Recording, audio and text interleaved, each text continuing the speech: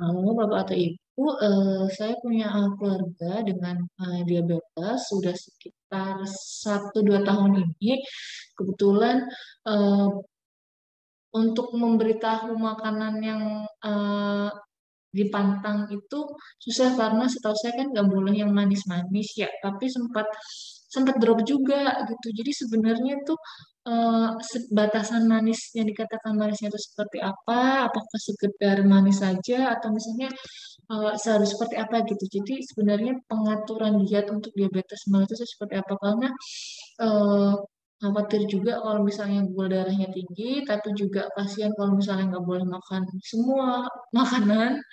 Jadi eh, mungkin bisa diberikan tips eh, diet untuk diabetes eh, mellitus. Kebetulan eh, yang bersangkutan itu kan juga sudah berusia lanjut ya, sudah sekitar 60 tahun ke atas gitu. Kadang-kadang kita juga kasihan kalau melihatnya seperti itu. Mohon informasinya. Kasih.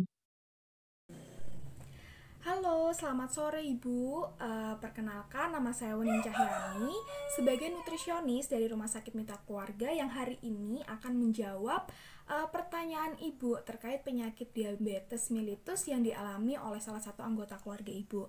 Nah, untuk anjuran bagi penderita diabetes sendiri tentunya eh, dianjurkan untuk mengurangi makanan yang manis-manis begitu ya. Tujuannya sendiri ya untuk menjaga kestabilan gula darah eh, di dalam tubuh. Nah, eh, namun Halo, selamat sore Ibu. Eh, perkenalkan, nama saya Wening Cahyani sebagai nutrisionis dari Rumah Sakit Mitra Keluarga yang hari ini akan menjawab eh, pertanyaan Ibu terkait penyakit diabetes mellitus yang dialami oleh salah satu anggota keluarga Ibu.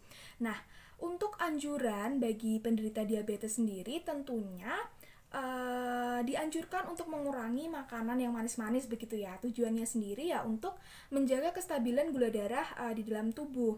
Nah, uh, namun memang uh, sering kali uh, kita sulit untuk mengarahkan uh, agar menghindari makanan yang manis-manis begitu. Nah, untuk normalnya sendiri uh, konsumsi gula itu sebanyak 50 gram uh, perharinya atau setara dengan 4 sendok makan itu bagi orang normal. Nah, bagi penderita diabetes sendiri tentunya dianjurkan untuk konsumsi gulanya di bawah dari 50 gram uh, per hari begitu. Nah, namun seperti yang tadi saya bilang bahwa kadang kita susah untuk mengarahkan untuk tidak mengkonsumsi makanan yang manis. Nah, tipsnya yang pertama mungkin kita bisa mengganti uh, gulanya dengan gula alternatif begitu yang lebih ramah atau lebih aman uh, bagi penderita diabetes. Uh, seperti yang kita tahu juga banyak sekali sekarang merek-merek uh, di pasaran yang beredar uh, untuk produk gula bagi penderita diabetes. Nah, itu bisa dijadikan alternatif untuk mengganti gula murni. Nah, lalu selanjutnya uh, kita bisa misalnya uh, bapak atau ibu tuh ingin mengkonsumsi makanan manis begitu setelah makan. Uh, atau ingin makan kue begitu sepotong kue setelah makan begitu. Bisa bisa saja diberikan sesekali. Uh, namun kita harus memperhatikan pada porsi pemberiannya. Misalnya jika ingin mengkonsumsi kue setelah makan kita bisa kurangi porsi dari karbohidrat kompleks uh, pada makanan sebelumnya pada nasi misalnya. Jadi nasinya dikurangi uh, kita bisa ganti nanti setelah makan dengan sepotong kue. Itu bisa menjadi salah satu tips bagi bapak ibu yang tidak bisa menghindari makanan manis. Nah atau juga bisa memperhatikan pada konsumsi gula tersembunyi. Uh, jadi kadang kita suka tidak sadar bahwa makanan yang kita konsumsi itu mengandung gula uh, yang tinggi gitu ya akan mempengaruhi kadar gula di dalam tubuh.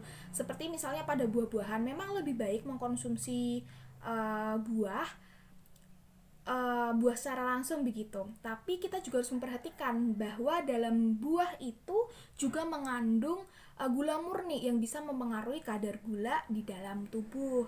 Begitu ya, Ibu, uh, beberapa tips yang uh, bisa saya berikan uh, untuk salah satu anggota keluarga Ibu yang mengalami diabetes mellitus. Untuk selengkapnya uh, atau selanjutnya Ibu bisa kembali berkonsultasi kepada saya di lain waktu. Uh, sekian, selamat sore. Terima kasih, Ibu.